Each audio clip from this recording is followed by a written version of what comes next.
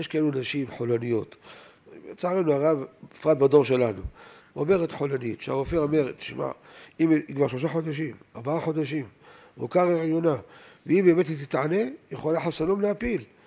לפעמים, עד שנכנסה להיריון, לקח לה הרבה זמן, הרבה צער היה לה, כמה הקאות הקיאה, עכשיו פתאום אה, תפיל. אני אומר לכם, כן, שתאכל, המעברת.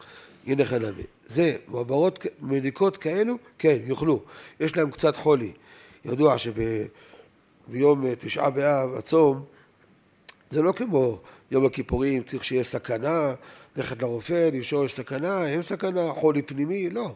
חולה שאין בו סכנה, יש לו קצת חום. בדרך כלל חום שיש 38, 39, חום, כל חום זה בא עם חולי. זה לא סתם אדם קיבל חום, כן, יש לו חולי. במקום חולי לא גזרו רבנן, אין בכלל את הגזרה של הצום, זה הרי דרבנן בתשעה באב.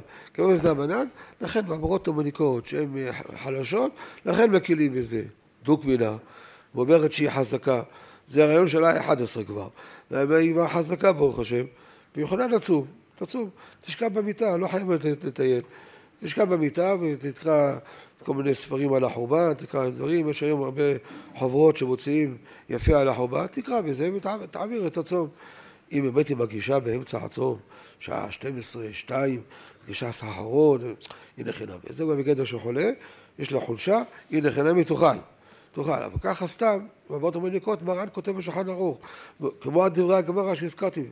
בברות ומניקות, מטענות ומשלימות כמו כל אדם.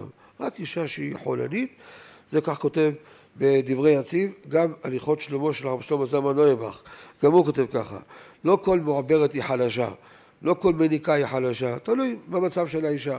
אם היא חלשה, יש לה סחרחורות, תתחיל לצום. בלילה בוודאי היא יכולה לצום. אכלה בשעה שבע ורבע אחר סדות בפסקת, אז מה יש לה, אין לה כוח לצום עכשיו? ודאי. כל הציבור, שותף עם הציבור. בבוקר גם כן תחכה כמה שעות. אם מגישה בשעה 12, אחת, שלא מגישה טוב, לא יכולה להמשיך לצום, היא לחינם תאכל. גם מניקה, מניקה היא צריכה לצום. אפילו שאולי זה קצת קשה לה להניק כשהיא בצום, אבל יש היום חילופי חלב יש היום. בטרנה, אני יודע, כל מיני חלב. תיתן לו חצי יום, בבוקר עוד יהיה לה חלב, אחרי הצהריים תהנה. אבל לפעמים קורה שאם היא תפסיק להניק, זה יכול אחר כך להפסיק לגמרי את החלב. זה לא דבר טוב. צריך לדון כל מקרה לגופו. אם המניקה היא חלשה או שייפסק החלב, כותב החידה כותב, בברכי יוסף, שמותר למנקת לאכול בתשעה באב שלצורך החלב. אם יש חשש שהחלב ייפסק. כל שכן לצורך עצמה, אם מגישה סחרחורות וכדומה, הנה חנמי, שיהיה מותר לה. הגאון המרחשת, שהיה גאון עצום, חריף, הוא היה חולה בתשעה באב, הוא כותב, חליתי ביום תשעה באב שנה זו וזו, הוא כותב, והוא אומר, אכלתי לסירוגים, לשיעורים. אכלתי נגיד 18 גרם, אחר כך חיכיתי, כותב החזון איש, צריכים לחכות תשע דקות. זה הרבי חווה דעת, הוא לא ראה את החזון איש הזה, זה דינים והנהגות של החזון איש. הרב כתב את זה בעצמו. למשל, הרב כותב, ביום הכיפורים, אדם שהוא חולה, שיש בו סכנה, אומרים לו שיאכל. ואם צריכים לאכול הרבה מיד, אז לא עושים שיעורים, תאכל, הוא צריך. אבל אם הוא יכול לאכול לשיעורים, בדרך כלל זה ככה, אז הוא אוכל לשיעורים. שמונה אוכל את הפרוסה, יחכה עד שמונה ועשרה. שמונה ועשרה, פרוסה הבאה. אדם אוכל דקה, שתיים, זה בערך קרוב לדברי החזון איש. אומר החזון איש, צריכים לחכות תשע דקות לסיום האכילה הראשונה, ואז לאכול אכילה שנייה. אז לפי המרחשת, צריכים לחכות, אדם אוכל חצי כזית, יחכה תשע דקות, יאכל עוד חצי כזית. יש כמה אחרונים שהביאו את זה להנחה שצריך לאכול בתשעה באב לשיעורים, כמו ביום הכיפורים, מדמים את זה לא הכיפורים. זה לא פשוט. יש ספר, מזבח אדמה. זה ראשון לציון לפני למעלה משלוש מאות שנה. הוא, יש לו ספר פרי אדמה, על הרמב"ם. תמיד מרן היה מספר עליו פה דברים, היה גדול הדור. הוא כותב שבתשעה באב, במקום צער לא גזרו חכמים. אין מעיקרת הגזרה, למה צריך שיעורין? למה צריך לאכול 18 גרם ועוד 18 גרם? יכול לאכול כזה את הכל, אפילו ככותבת, יכול לאכול מה שהוא רוצה. יום הכיפורים זה דאורייתא. דאורייתא, רק בסכנה אמרו, לכן אמרו תאכל שיעורים. תשעה באב זה דרבנן. ודרבנן במקום צער לא גזרו רבנן. לכן כותב מפורש, מזבח אדמה שהיה לפני 300 שנה, יש ספר שערי דעה גאון אשכנזי, לפני 120, 130 שנה בערך הוא היה, אולי קצת יותר אפילו. והוא כותב גם כן, שלא צריך שיעורים בתשעה באב, רק יום הכיפורים צריך שיעורים. גם בספר קהילת תורה בהלכה של הרב הורוביץ, היה בדין בשטרסבורג, הוא גם כותב ככה, עוד לפניו, הרב אפינשטיין, ברוך השולחן, כותב לא צריך שיהיו שיעורים בתשעה באב. גם שבט הלוי של הרב אוזנר, במקום צה"ל לא גזרו חכמים, בעיקר לא הייתה גזרה לחולה, מה אתה רוצה? יכול לאכול כרגיל. משנה ברורה, בביאור ההלכה, הוא כותב כשהיה מגפה, בתקופה שלו, לא יודע מתי בדיוק, 90, 80 שנה, היה מגפה בעיר שלו, באזור שלו של רעדין, היה חולי רע, ומתו אנשים. אז הוא אמר, כל האנשים, כולם, חייבים לאכול במגפה. הוא אומר, אנחנו מרגישים טוב, אנחנו בריאים, שלמים, לא נדבקנו, אפילו לאחים. הוא היה כתב שם, אומרים שצריך משהו על הפה, כבר אז יצא המסכות. ש... ש... והיה חולי רע ויושבים שיפחדו. הוא נתן הוראה לאכול בתשעה באב, כרגיל. אבל לאכול לשיעורים, לאכול לסירוגין.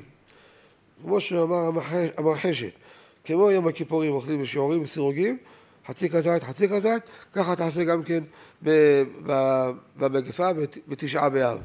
ורוצים לחשוב שכאילו הוא גם כן סובר כמו המרחשת. לא, זה לא דומה. שני דברים. קודם כל שם זה היה מגפה. דבר של אלפים רבות שנדבקו ומתו בזמנו לפני 90 שנה. ולכן הוא אמר שיאכלו.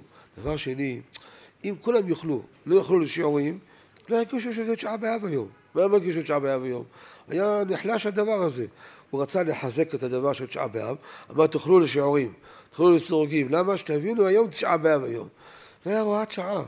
לא שיבוא היום מישהו חולה, הוא שוכב במיטה, אין לו סכנה, אבל חולה, יש לו חום, אנגינה, יש לו כאבי גרון, כאב גרון זה, זה דין של חולה. ויבוא היום בשעת את המשנה ברורה, אני אוכל לסירוגין? לא. מקום צער לא גזרו חכמים, תאכל רגיל. שם הייתה בעיה, קודם כל שלא יישכח הצום. דבר שני, עכשיו הם לא חולים, זה חשש שלא יהיו חולים. אם יידבקו ויהיו חולים בחולי רע הזה, ואז לא יהיה להם כוח לעמוד בחולי.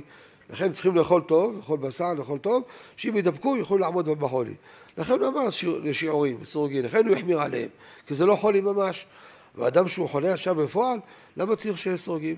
אז לכן, גם לפי המשנה ברורה, היה בדורנו, מי שחולה, יכול לאכול כרגיל. מי שרוצה להחמיר על עצמו, בתור חומרה, שלא לספר לאף אחד, זה יהורה. שוויצר, מה אתה מספר? אני אוכל לסרוגים? לא, תספר לאף אחד, תעשה מה שאתה עושה, לעצמך תעשה.